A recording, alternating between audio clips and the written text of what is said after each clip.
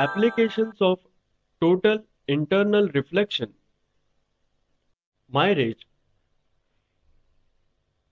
In summer, when air is still, the air near the earth's surface becomes very much hot and the temperature decreases gradually in the upward direction.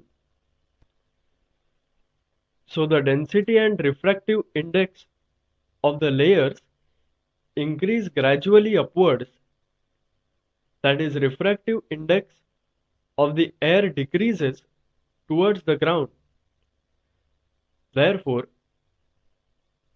a ray of light from the top of a distant tall object like tree or tower travels downwards,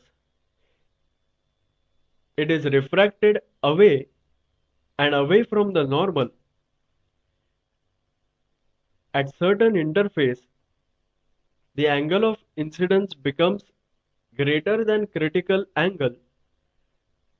The ray is totally internally reflected. Hence, the apparent inverted image of the object is as if the image in water when seen by the observer. The observer may be under wrong impression that there is a pool or lake at the base of the tall object.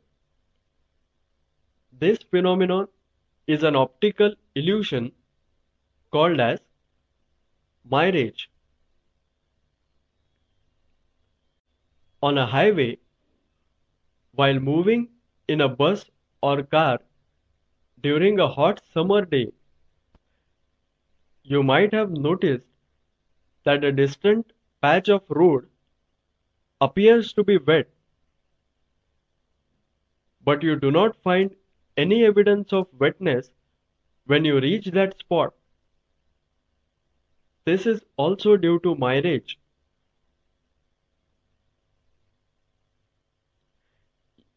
You can watch the sunset over a calm ocean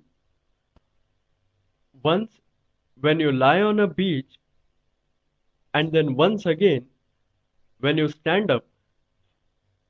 Surprisingly, by measuring the time between the two observations, you can calculate approximately the radius of the earth. This is one of the indirect method of measuring the size of the earth.